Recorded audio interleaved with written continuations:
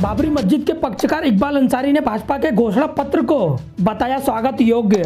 2019 लोकसभा चुनाव को लेकर भाजपा के द्वारा जारी किए गए घोषणा पत्र में सभी वर्गों को लेकर कई योजनाओं के साथ साथ अयोध्या में संवैधानिक तरीके से राम मंदिर निर्माण की बाबरी मस्जिद विवाद के पक्षकार इकबाल अंसारी ने स्वागत किया है।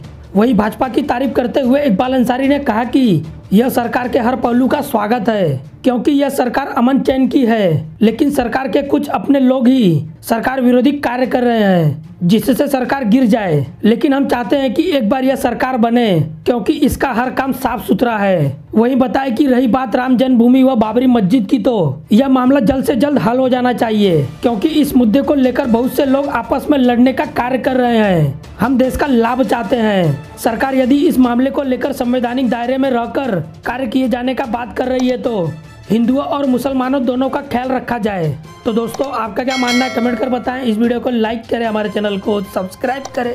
धन्यवाद।